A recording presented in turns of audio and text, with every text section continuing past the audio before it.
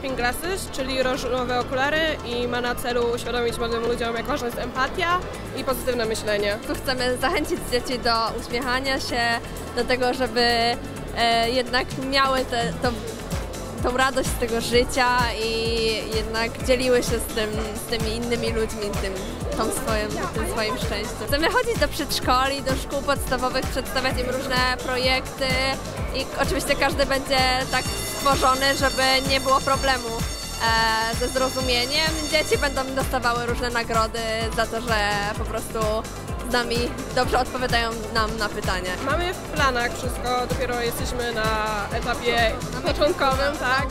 Tak, ale mamy kilka właśnie zaufanych przedszkoli, szkół podstawowych, do których będziemy chcieli chodzić. Teraz w dzisiejszym świecie nawet ludzie na ulicach są bardzo tacy mm, smutni i chcemy po prostu wprowadzić coś, żeby świat był bardziej optymistyczny, bardziej uśmiechnięty, żeby ludzie na ulicy uśmiechali się po prostu do siebie, a nie przechodzili obojętnie.